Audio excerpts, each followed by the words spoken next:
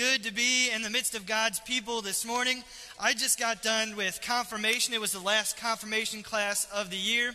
And the one thing that we really focused on, the one thing that uh, we, we hit on was that God is never done chasing us. And that's an amen kind of thing, isn't it? That God is never done chasing us. And today we get an opportunity to to stop running, to go and be embraced by the arms of our Father, the arms of our King.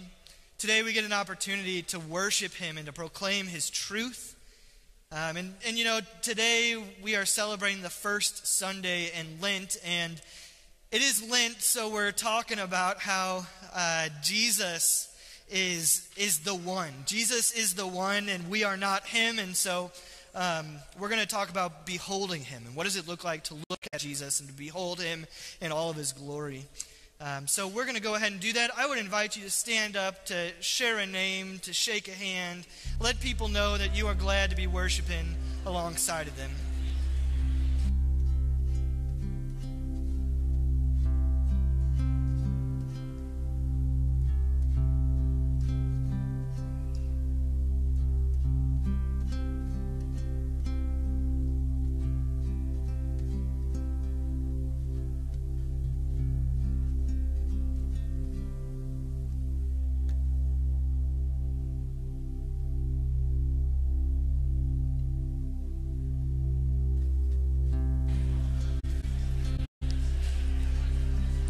Begin today in the name of the Father and of the Son and of the Holy Spirit.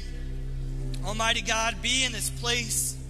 Fill our hearts and our lives with your worship. Lord, we pray that you do not allow us to leave here unchanged, but use this time to mold us and shape us into who you long for us to be. We pray this in your mighty and precious name. Amen.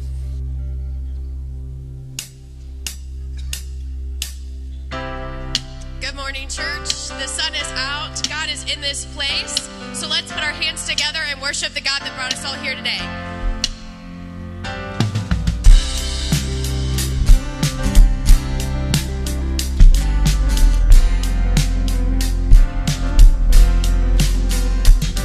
We worship the God who was. We worship the God who is, we worship the God who is.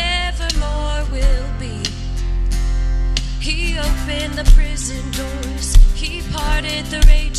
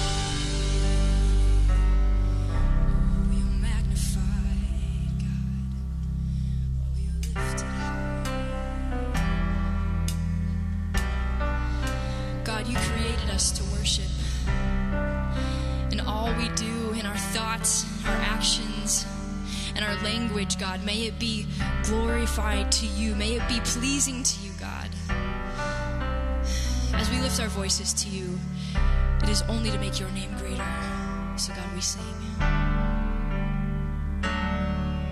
Beneath the cross of Jesus Christ, no shadow remains for shame to hide. Redemption shown for all to see, perfection bore our pain with a grace so glorious. Immortal day, the veil was torn when mercy down the crown of thorns, as law gave way to liberty and freedom for humanity with a grace so glorious. And oh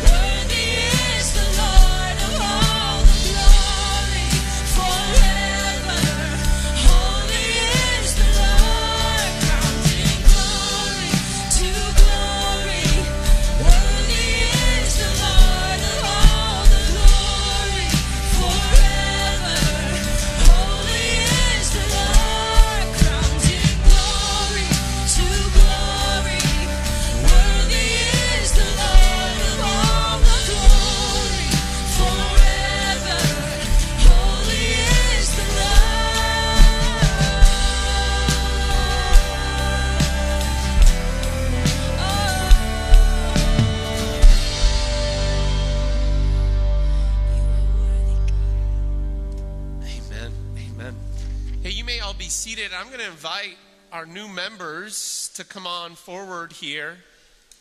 Don't hide, y'all. Come on. We talked about this day.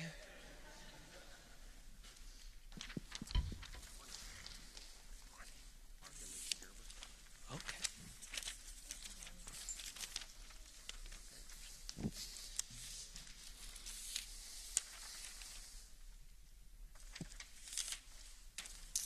There you guys go. No, it's not yet. Pastor Bill. Presents. I'm sorry. And take that away. No, I'm just kidding. Uh oh, I'm one short. Have you guys gone? Just our first day. Okay. Sorry. Sorry to confuse you guys. I would love to connect with you guys later. So, new members, you guys. We've traveled together for a few weeks, uh, had some fun together. Uh, we're excited that today this is an opportunity for us to welcome you guys here. We've talked about that this is our family of faith. And you guys are saying, yeah, I want to be a part of the family of faith, including the commitments, the responsibilities that come with that. And so we're so excited to welcome you guys to be a part of that. Here in a moment, we're just going to take uh, walk through this here. And I'm going to invite you all who are members uh, here to also kind of join them in speaking these things as just a reminder of what it means to be a member of God's family of faith, right? The things we've committed ourselves to. Uh, do we have those on the screen, Brendan? I should have checked on that.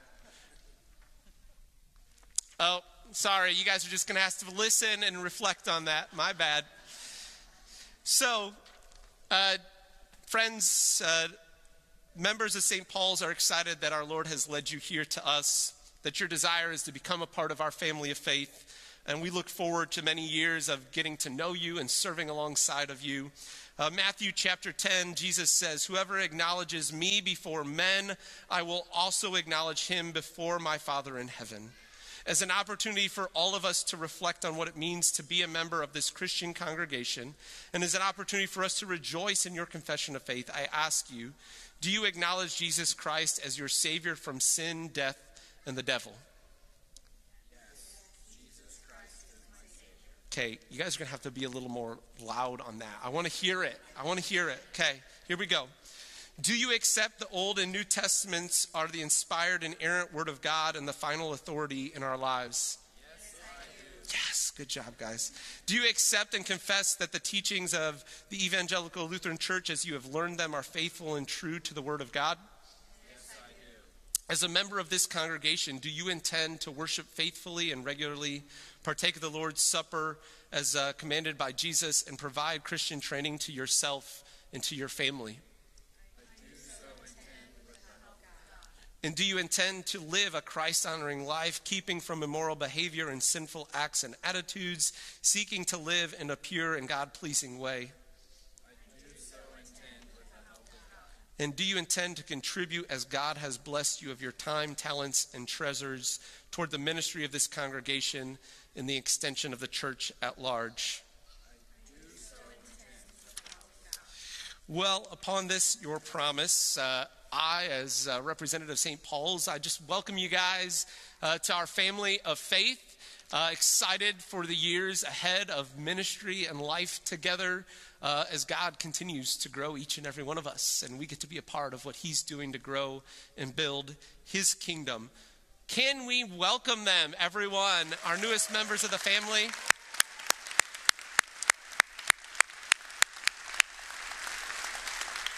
And later after service, we're going to have an opportunity if you want to go and meet them and celebrate a little bit more with them. We're going to have some cookies and refreshments out at our coffee bar. We'll remind you at the end of service of that. You guys, though, we'll uh, we have a little gift bag here for each of you. So this is Allie Swingle and uh, Walter and Brittany Justice, and their daughter Brooklyn is at the LSA, and James and Megan Cole, and David here, and uh, Chelsea Robertson, and Valora, right? And then uh, Judah and Kayla Renfro, Renfro, sorry, and Jocelyn and Stella. Thank you once again. Can we welcome them one more time? And you guys can head to your seats now. Thank you, guys. Hey, as they head to their seats, I would invite everyone to stand. Uh, we're going to go before our God in some time of prayer and confession. You know, our, our God tells us that if we say we have no sin, we are just lying to ourselves and the truth isn't in us. But if we confess our sins, if we give over our mistakes and our shame and our guilt to Him, He is faithful and just to forgive us, to cleanse us from all unrighteousness, to take that stuff away. And so we go before our God in a time of prayer. Almighty King, you are good. God, you are perfect and we are not. We confess to you today that we are broken. We don't love like we should. We've sinned against you in thought and word and deed by what we have done and by, by what we have left undone. We've not loved you with our whole heart, and we've not loved our neighbors as ourselves, and we know that because of this, we justly deserve your present and eternal punishment. God, we ask for you to forgive us. Make us new. Help us to follow after you, King. We pray this in your mighty and precious name. Amen. Church, I want you to know that our God does not stop chasing after you. That He has a grace that is beyond anything we could ever ask for or imagine. That He loves you and He makes you new and He, he calls you His child. So know this that because of Jesus' life and death and resurrection, your sins are forgiven. In the name of the Father, and of the Son, of the Holy Spirit. Amen. Well, Almighty King, we come before you today knowing that you are good, and we bring to you so many different prayer requests. God, we know that there's a lot going on in our world that needs you, and we are thankful that you are a big God, bigger than all of the troubles of this world. And Lord, right now, one thing that lays heavy on our heart is this situation with Russia and Ukraine. And we pray that you would bring peace and stability and safety. That you would heal relationships and that you would help rebuild homes. And Lord, if there's a, a place that your church fits in in rebuilding all of this, I pray that you would awaken your church to do what you are calling them to do. And Lord, as we look a little closer to home, maybe there's not as much conflict, but there is there is still pain and hurting even in our city, and so we lift up Decatur to you, praying that you would show your love through us to this town, to this county, to this city. Lord, we pray that you would help us to show your grace and your mercy to everyone we meet. Almighty God, we lift up healing. We lift up these people longing for your healing to work in them. And so, Lord, we pray for Tanya and Karen and Sharon and Tom. We lift up Scott and Michelle and Reese and Sam and praying, praying that you would do something in them. That you would bring healing from hurts. That you would let them know that you are there and not alone. And Almighty King, we thank you for the marriage of Maddie and Kyle Wireman yesterday, and we pray that you would bless them, that you would help them uh, chase after you and grow together as they chase after you. Lord, we lift up those who are suffering loss. We lift up the family and friends of Marilyn Metzger and the family and friends of Bernard Jackson, praying that you would bring healing in their lives, that they might know that just as sure as you rose from the grave, that their loved ones will rise from the grave too. Lord, we lift up uh, just a prayer of thanksgiving for these new members. We pray that you would bless them mightily. that as they follow after you and as they are a part of our church, I pray that you would let them know that they are never alone, that you have put them in a body of Christ to support them, to care for them, to love them. Lord, we pray all of these things, trusting in you. We pray that prayer you've taught us Our Father, who art in heaven, hallowed be thy name. Thy kingdom come, thy will be done, on earth as it is in heaven. Give us this day our daily bread, and forgive us our trespasses, as we forgive those who trespass against us. And lead us not into temptation but deliver us from evil. For thine is the kingdom, and the power, and the glory, forever and ever. Amen. Amen. You all may be seated.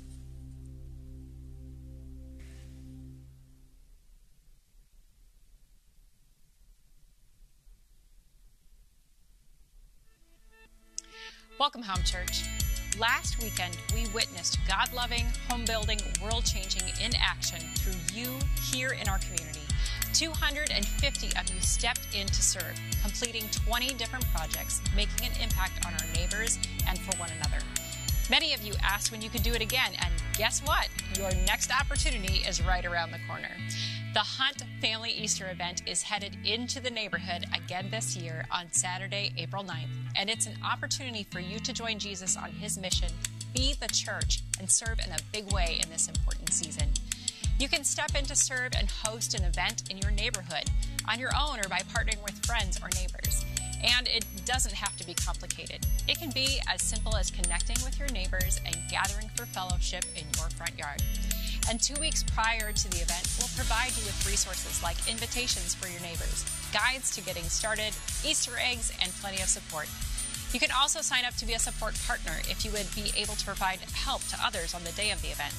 Right now, you can support the event by donating candy or other egg fillers, taking empty eggs home to fill and return, or donating already filled eggs by March 16th. Visit the Hunt Station in the Fellowship area to see all the options and sign up today. Next week, our Lutheran School Association will host their School Celebration Week. You can show your support and celebrate too. Wear, wear your I Heart LSA shirt or hoodie, or consider becoming a sponsor or making a donation toward the upcoming Run the Race Derby themed dinner auction event happening May 6th. If you'd like to get involved, check out the information available in your worship guide and through the LSA Facebook page. Additionally, right now is the time to enroll for the 2022 to 2023 school year at LSA. Forms for returning and new families are available at the LSA table in the fellowship area and at lsadecatur.net. You can also learn more and schedule a tour by contacting the school at 217 233 2001. Now that we've entered into the Lenten season, we look forward to continuing to experience significant moments in Jesus' life and ministry and in your lives as we journey toward Easter. Plan to join us for Lenten Worship Wednesdays, happening weekly through April 6th at 12:15 p.m. or 6:30 p.m. Dinner is also provided by a ministry team at 5:30 p.m. in the dining room. All of the details about this and other opportunities, like Iron Sharpens Iron and Safe Families, are available inside your worship guide. Find the resources you need at spldecatur.org slash church online. And friends, we love to know you're worshiping with us. So if you're here for the first time, please complete a first time guest card and return it to our Welcome Center for a special gift. If you already consider yourself family, please complete a Connect card here in person or online. And as always, let us know how we can be praying for you.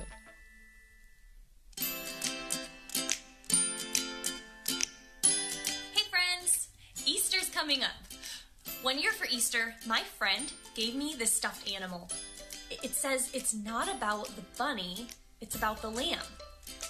Maybe you've heard Jesus called the Lamb of God. That might sound kind of silly because we know that Jesus isn't an animal, but here's why Jesus is called the Lamb. When something bad happens, we deserve punishment. We deserve to get in trouble. Somebody has to pay. Maybe you said a bad word so your phone got taken away. Or maybe you got in trouble with your sibling so you have to go to timeout. Before Jesus, if someone wanted to be forgiven, they had to kill a perfect lamb to pay the price for their sin. Those baby lambs didn't do anything wrong. They were gentle and kind, and their fluff was spotless. These lambs made the perfect payment for someone's sin. Lambs sound a lot like Jesus. Jesus is perfect in every way. When he died on the cross, he was the perfect payment for everyone's sin forever. So we don't have to sacrifice lambs anymore. In fact, we don't have to do anything to be forgiven. If we believe in Jesus, we are forgiven. Jesus sacrificed himself for us. He was the perfect payment for our sins. And that's why we call him the Lamb of God. See ya.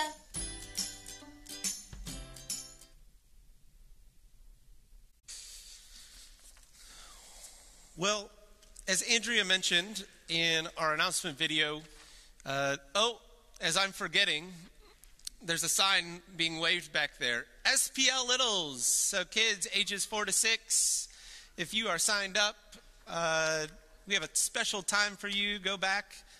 Miss Kristen's back there uh, for you to go on out and experience uh, time just to be able to hear a message about Jesus and what he's done for us, the Lamb of God. Uh, so, if you're signed up, head on out there. I'm going to move on to, if Andrea, as Andrea said in our uh, announcements, uh, we have coming up this week the LSA, one of our ministries, is celebrating Lutheran Schools Week. And uh, so uh, during that week, uh, in kind of response to that, their committee has uh, sent this on on behalf of the staff and students of LSA. Just a thank you to you all for the ways that you support that ministry and are a part of that. So I'm going to read that here for you this morning. Good morning. This week, the Lutheran School Association will be celebrating Lutheran Schools Week. The students and staff have many wonderful things planned, and we are excited to celebrate and recognize how blessed we are to be a part of Lutheran education.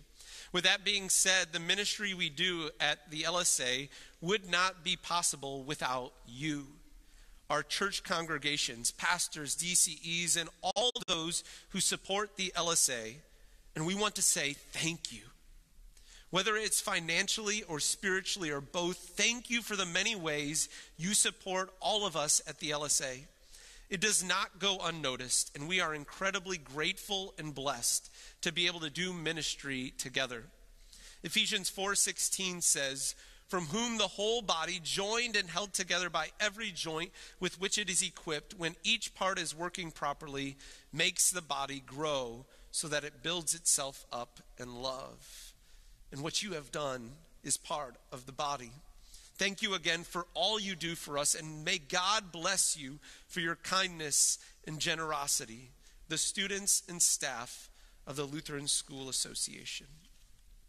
And we are so thankful for the many ways that you all invest in and support not only the LSA, but the, all our ministries here at St. Paul's. It is because of your generosity, both in money and in uh, of your time, that we are able to do what we do.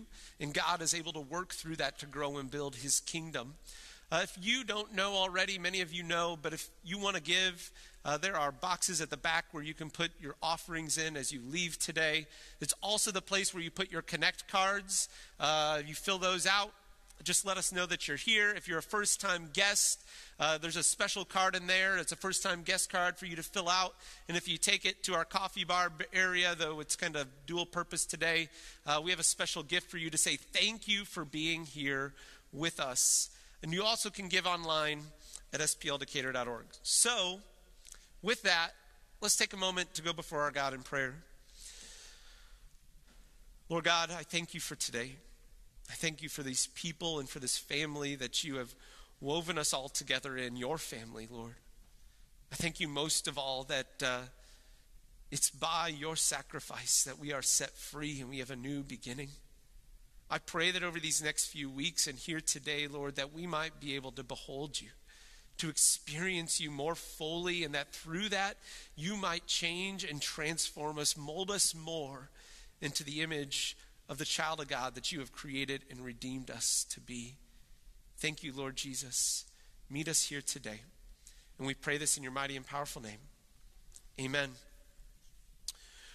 Well, as Pastor Bill mentioned, as we're entering into this Lenten season, this 40 day journey, we're on the weekends entering into this sermon series entitled Behold. Now, this word, let's be honest, this isn't a word you and I use very much, right? It's kind of odd. It's kind of been lost, right? I don't imagine that you go around often going, Behold, behold, behold, right? But the heart of this we still do, right? It's this idea of, look, like, hey, you got to come see this, right? Come, not just see it, but experience this thing. You can't miss it. This is important, significant.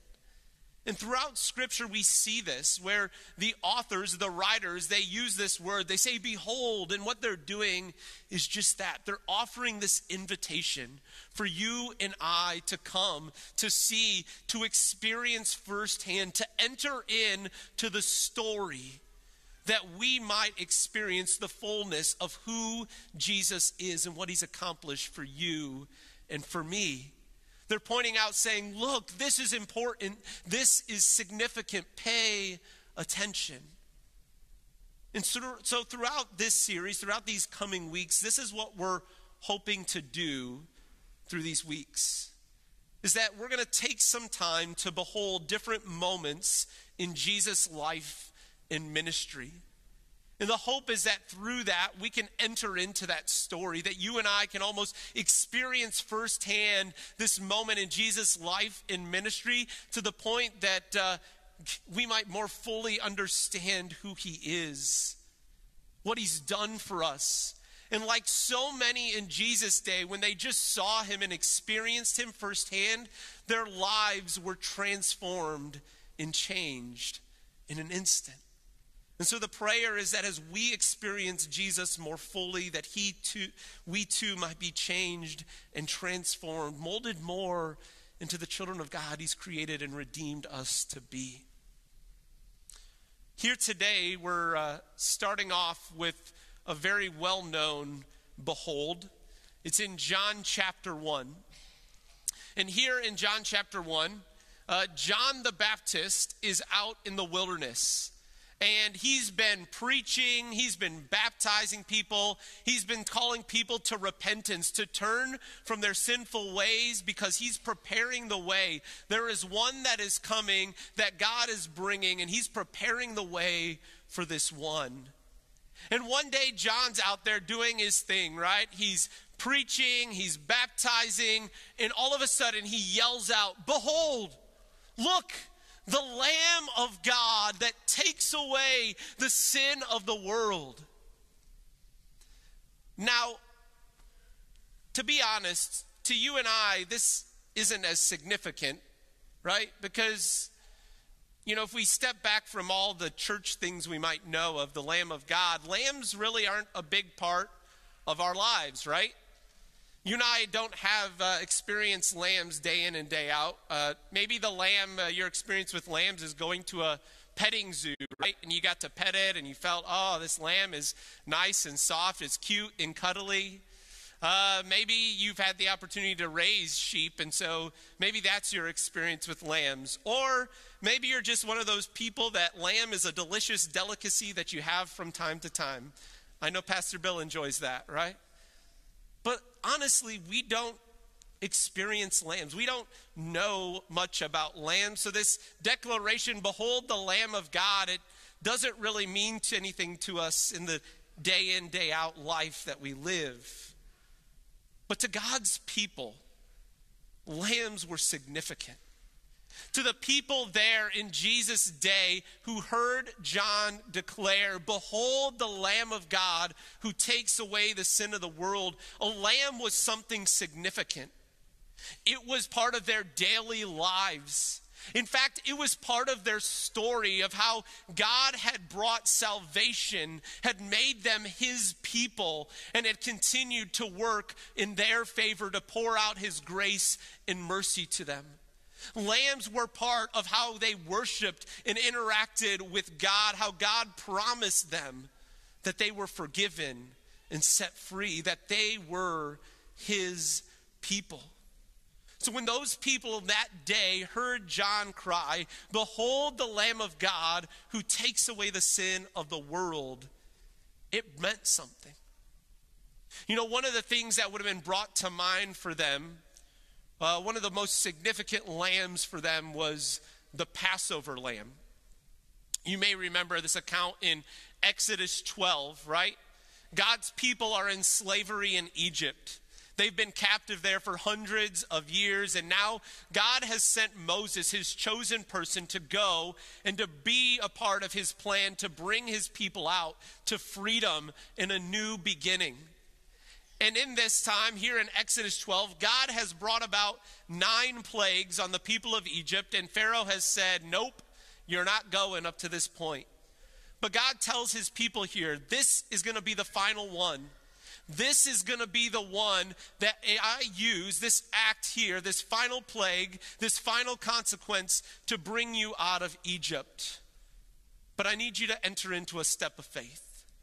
And so he tells his people that every household, or if you have a small household, join with somebody else, but every household needs to take a lamb, a year old. It can be from the sheep or the goats, but a year old lamb, spotless, without blemish. You're to kill it and you're to prepare it and eat it that night, but you're also to take some of its blood and you're to paint your doorposts, the sides and the top with this blood. So that when the angel of death, the destroyer, comes to kill the firstborns this night, he might pass over you. You might be spared from death in your household. And God's people act in faith. They followed, they sacrificed the lamb, they put its blood there. And by this act, by the sacrifice of this lamb, God brought salvation and freedom and a new beginning for his people. He brought them to freedom and a new beginning. And this is why, for every year, for centuries, then, his people remembered this act of salvation of God by killing a lamb and eating it together and telling the story of God's freedom and new beginning that he brought for his people. But when John declares, Behold the Lamb of God that takes away the sin of the world, when he cries this out, it was more than just the Passover lamb that would have been brought to the minds of the people there. Especially with that last part, the one who takes away or carries away the sin of the world. That would have been brought the people to another important day of God's people, another festival that they celebrated. It was called uh, the Day of Atonement or Yom Kippur. Maybe you've heard of it. And this was the day, a day of repentance of all of God's people. It was a day for them to be set free from all of their sins that they had committed over the last year. A day to atone for all of that sin, to cancel that debt so they might be free of that as they moved forward. And the actual atonement for God's people for the people of God involved two goats. They were to select two goats that were very similar, and then the high priest cast lots for them. And uh, one of those who got chosen by the lot would be sacrificed, it would be killed, and uh, the blood was to atone for, to pay the price for the people's sin. And the other goat was the what we might know now as the scapegoat or the escape goat right? And what happened to this goat is that the high priest would go and he would take and place his hand on the head of that goat. And he would confess all of the sins of the people over top of the head of that goat, symbolically transferring that sin to the goat. And then that goat, carrying the sin of the people, would be led away into the wilderness. The goat carried away the sin of God's people into the wilderness, and it was let go. But it wasn't let go with the idea that it would survive, right? Ultimately, the idea is that the goat would die and their sins would die with it. This goat, this lamb, carried away the sins of God, God's people fully atoning for every last one of those sins, removing them far from them so that they might know that they are in favor with God, that their sin no longer keep, separates them from God. And here in these two goats of the Day of Atonement, we see the two consequences of sin death and separation from God. These two goats suffered the consequence, the full consequences of sin on behalf of God's people so that they would not have to. So here, when John declares in John 1, he yells out, Behold the Lamb of God who carries away the sin of the world. He's drawing both of these significant events, these parts of God, this, God's people's story of how God worked in their life to set them free and give them a new beginning. He's drawing all of this together and he's declaring here that this one, he is the one that perfectly fulfills this and brings this about. He's declaring, listen, I know you don't know him, many of you. He looks like an ordinary guy, but look, behold, I see it. This is the Lamb of God. This is the one God has sent to make full atonement for our sins once and for all. Here at the beginning of Jesus' ministry, John's declaration foreshadows the end and ultimate purpose of Jesus' life. That just like all of those lambs in the history of God's people, his end would be death. But by the shedding of his blood, by his death, it would bring freedom, perfect freedom from sin for God's people. See, at the heart of this, what we see, and what the author of Hebrews later declares, is that these sacrifices that God's people were making for centuries, they really didn't fully atone for sin. They were just meant to foreshadow this ultimate plan of salvation, this ultimate sacrifice in Jesus, God's plan of salvation, right? That they couldn't really take away sin, but Jesus' sacrifice alone is the one that takes away the sin of the world. In Hebrews chapter 10, we hear this For since the law was, uh, has but a shadow of the good things, to come instead of the true form of these realities, it can never, by the same sacrifices that are continually offered every year, make perfect those who draw near. Otherwise, they would not have ceased to be offered, so, uh, since the worshippers, having once been cleansed, would no longer have any consciousness of sin. But in these sacrifices, there is a reminder of sins every year. For it is impossible for the blood of bulls and goats to take away sin. These things only pointed to the perfect sacrifice that was to come. And the author of Hebrews goes on a few verses later. He says, But when Christ had offered for all time a single sacrifice for sins, he sat down at the right hand of God, waiting from that time until his enemies should be made a footstool for his feet. For by a single offering, a single sacrifice, he has perfected for all time those who are being sanctified. The author declares that here, in the Lamb of God, the sin of the whole world has been taken away. That his, his sacrifice on the cross was once for all, perfect for all time. And so, here, as we hear John's cry, Behold the Lamb of God who takes away the sin of the world, even though we're at the beginning of our Lenten journey, we're transported to the end because we know where we see our Lamb of God that there, Jesus, our perfect Lamb, he took our sin, every last one of our sins, upon himself. And as he trudged out of Jerusalem, it wasn't the burden of that crossbeam that he was carrying, it was really the burden of your sin and my sin. That Jesus carried the weight of our sin, every one last one of our sins. He carried it away outside of Jerusalem.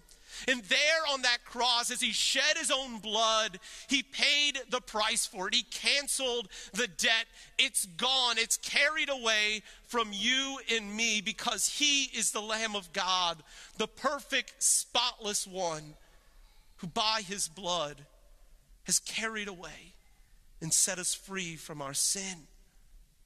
He is the Lamb of God who carries away the sin of the world. So, what does this mean for you and me? What does this mean?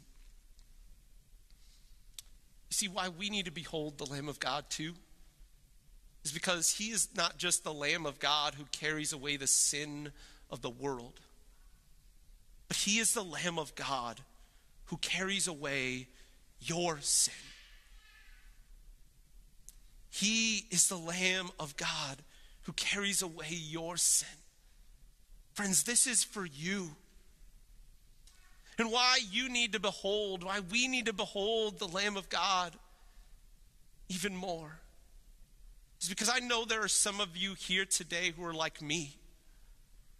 That though you've heard again and again and again throughout your life that you are forgiven and set free because of Jesus' sacrifice on your behalf, that you still carry around the guilt and shame of past failures and mess ups. And friends, if that's you, behold the Lamb of God who carries away your sin, who has carried away your sin. It's not yours anymore. Don't hold on to the guilt and shame because God has forgiven you. You are set free. You don't have to carry that around anymore.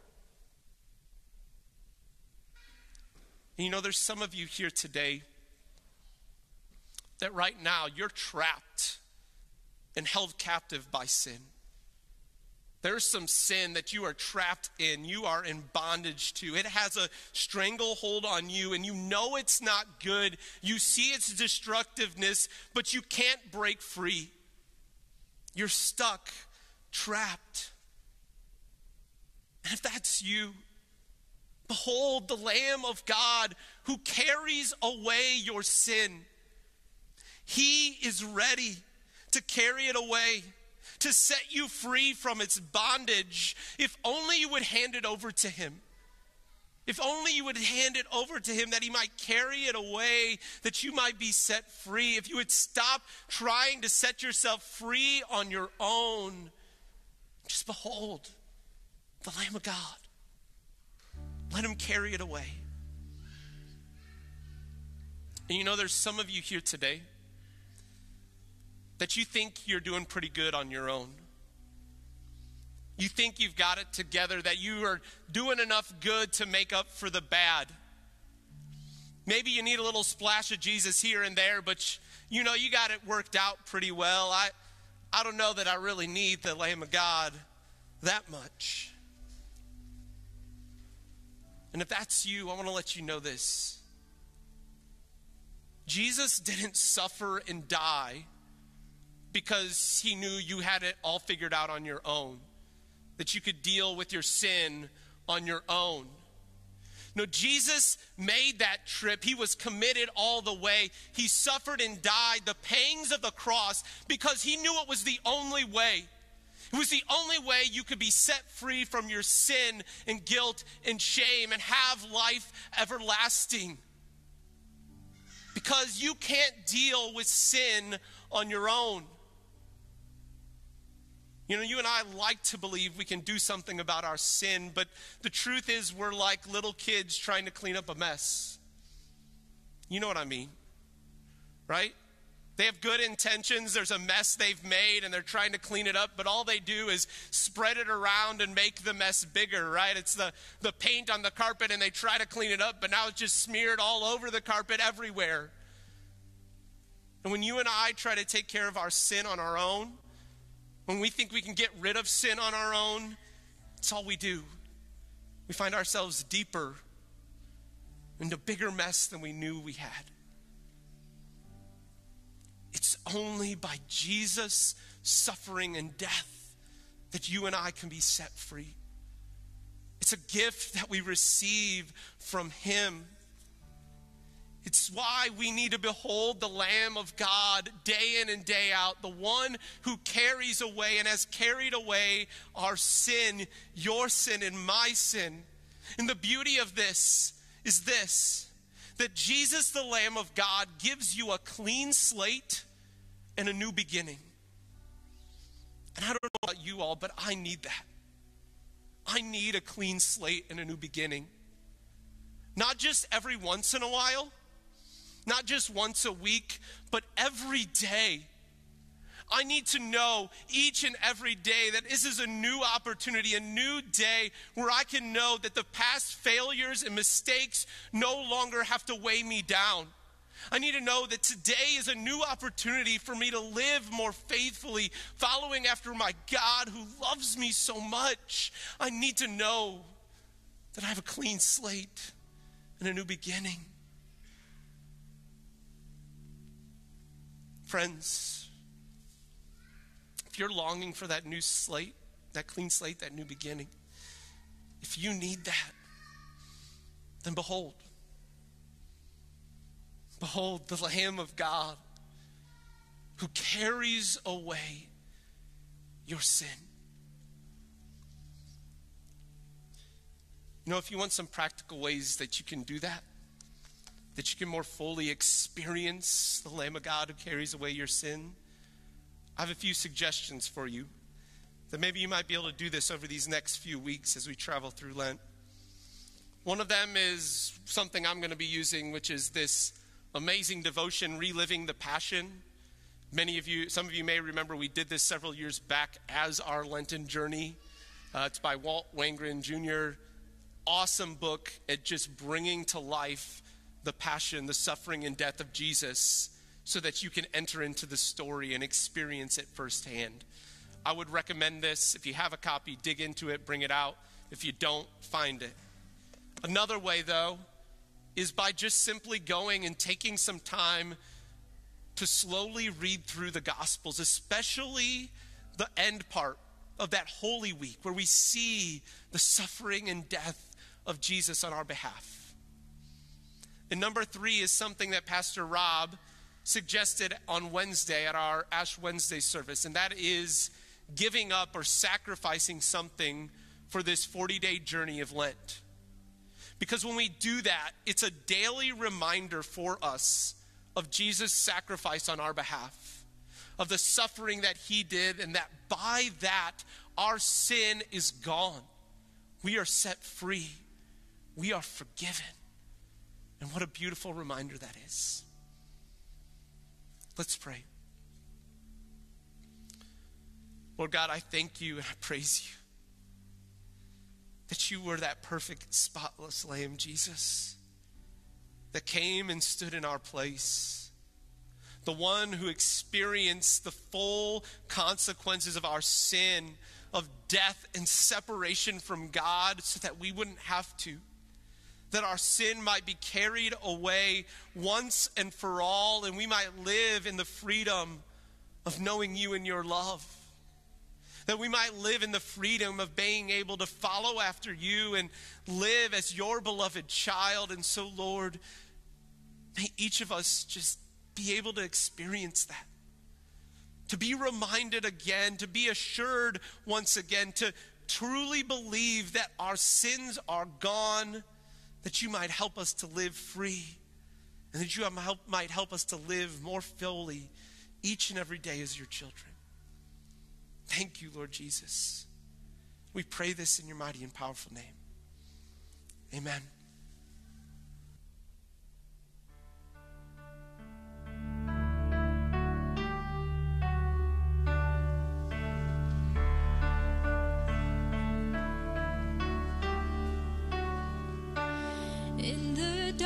We were waiting without hope, without light. Till from heaven you came running.